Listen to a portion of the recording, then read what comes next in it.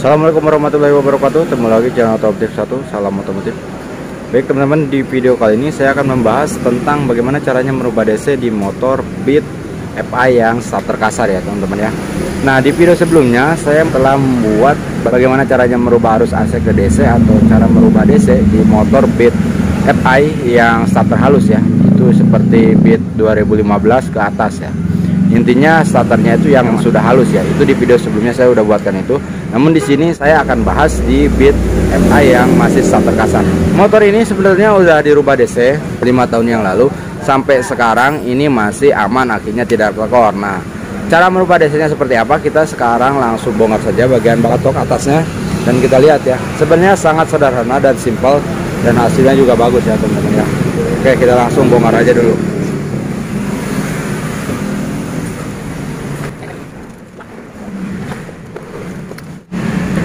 Nah baik ini udah dibongkar semua. Jadi ini cara ngedeseinnya itu melalui saklar jauh dekat ya teman-teman ya nih. Karena ini kan memang tidak ada saklar on-off-nya Jadi teman-teman kalau misalkan mau ngerubah DC itu bisa melalui saklar jauh dekatnya ini. Nah di sini saya akan bongkar dulu ya isolasiannya. Kita lihat ya teman-teman ya. Nah jadi caranya yang pertama lepaskan terlebih dahulu kabel kuning ini ya. Kabel kuning yang ada di sini. Nah ini kan kabelnya aslinya tiga. Yang kuning ini ada di tengah-tengah. Nah ini yang dari bawah ya teman-teman ya. Pertama lepaskan seperti ini lalu lipat. Ini jangan dipotong ya sayang. Ini lalu lipat. Lalu setelah itu teman-teman ambil kabel. Kabel pendek saja kurang lebih 10 cm atau 15 cm buat jemperan ya. Nah kabel pendek itu teman-teman tempelkan ke kabel switch rem yang warna hitam. Di sini ada kabel switch rem warna hitam. Teman-teman tempelkan saja seperti ini di jumper ya. Tuh. Di jumper seperti ini. Setelah itu teman-teman masukkan ke bagian sini. Nih. Dimasukkan ke bagian tengah sini ya. Nih.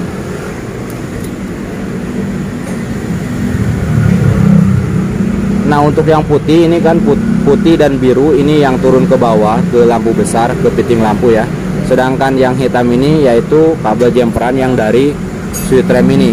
Nih dari switch rem ini ya.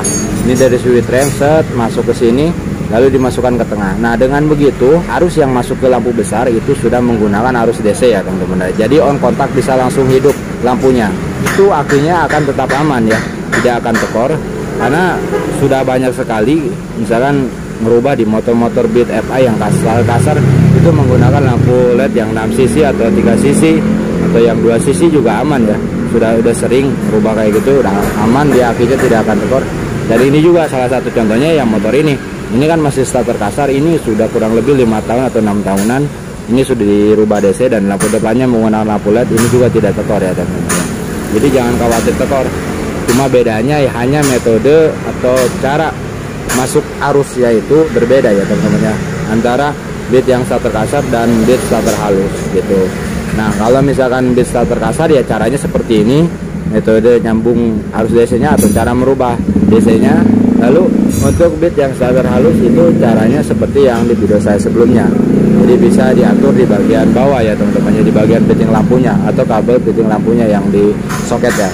Ini kalau memang misalkan teman-teman nggak punya nggak punya soket seperti ini ya mau nggak mau nanti dipotong saja ya teman-teman ya misalkan dipotong di sini potong di sini truk itu potong lalu sambung dengan kabel yang jemperan dari switch rem ini ya.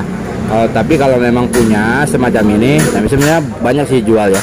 Soket-soket seperti ini banyak jual yang penting teman-teman nanti mau nyongkel di sini mau nyongkel lalu diganti dengan soket yang baru itu.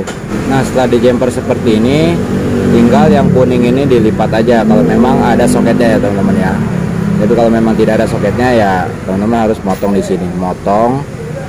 Nah motong ininya. Ini potong tengah. Nah jadi yang dari bawah ini nggak dipakai lagi. Yang dipakai yang naik ke atas ya. Yang naik ke sini yang ke saklar. Ini diambil lalu sambungkan ke strum 12 volt.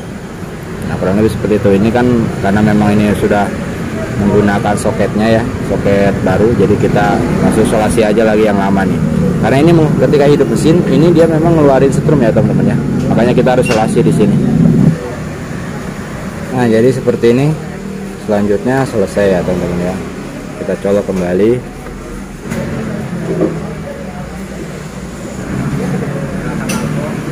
Tuh, dia nyala ya tanpa hidup mesin nyala seperti itu.